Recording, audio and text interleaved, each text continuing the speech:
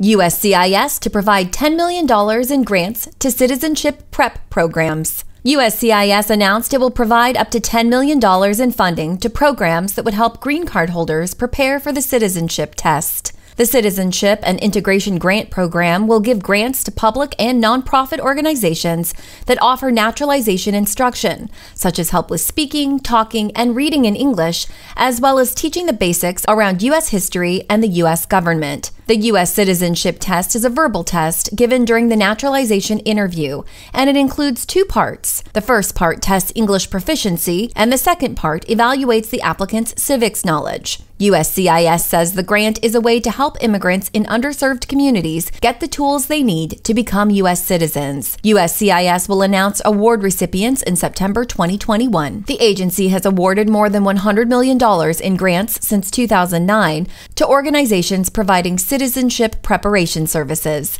Check out the link in our description for where to apply and our resource guide about preparing for the citizenship test. If you like this video, give it a thumbs up and subscribe to Boundless for the latest in immigration news. Thanks for watching.